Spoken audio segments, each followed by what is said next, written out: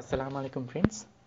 In this video we are going to learn how to create a perpendicular plane to the curve just select a plane. Initially we have to draw a curve so go to the sketch and make it for sketch on view.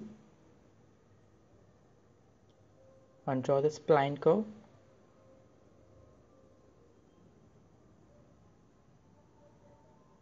now I draw the spline curve.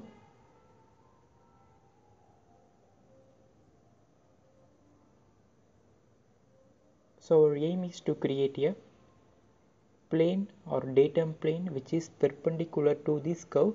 Just go for blend option and select a datum which is available at right top corner. So just select a datum.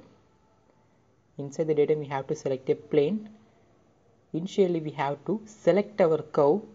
So make a click on curve.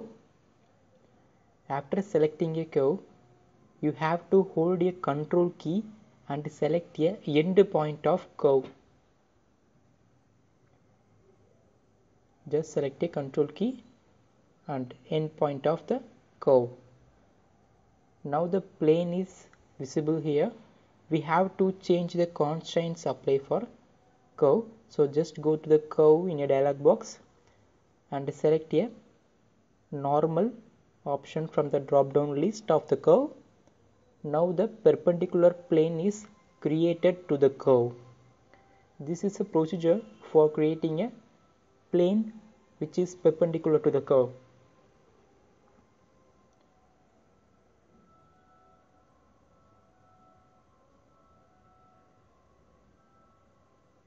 just click ok.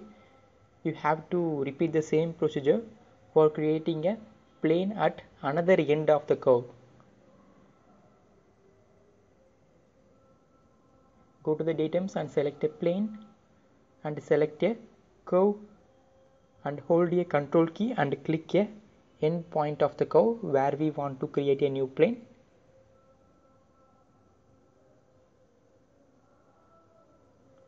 now the plane is visible here. You have to change the constraints to the curve throw the normal and click ok.